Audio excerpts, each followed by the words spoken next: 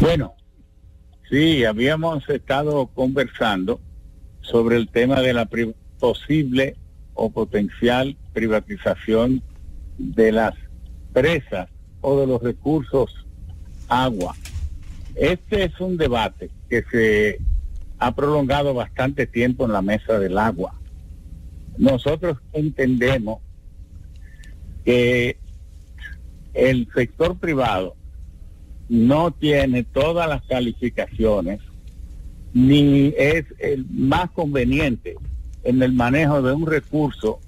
propiedad de toda la sociedad. No quisiéramos ver empresas manejando las presas dominicanas que a propósito son de usos múltiples, porque sirven para el riego, para el consumo de agua humana, generación de electricidad, control de avenidas y fines turísticos, en fin, y eso donde mejor puede ser administrado y ojalá lo sea con toda la pulcritud y capacidad técnica y transparencia es en manos del Estado. Por eso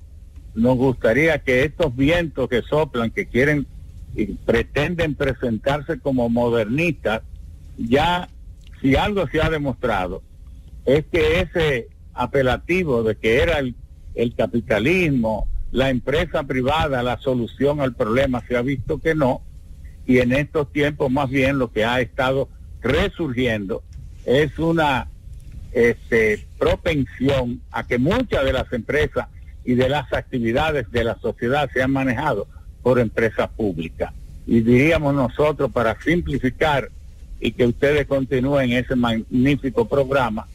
daríamos nuestro voto negativo a una privatización de ninguna de las de las presas del país.